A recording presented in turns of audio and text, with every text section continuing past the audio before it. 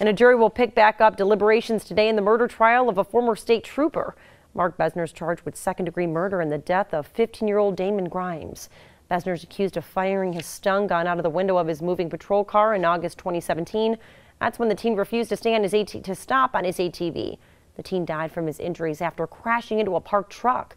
Bessner claims he thought Grimes was reaching for a gun. We'll let you know of any updates as soon as they become available.